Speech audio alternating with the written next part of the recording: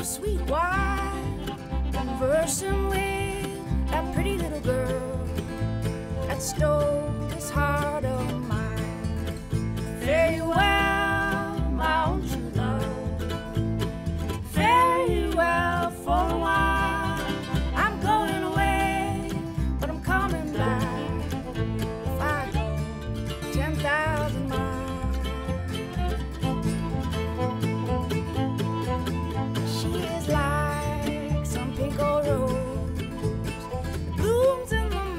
you.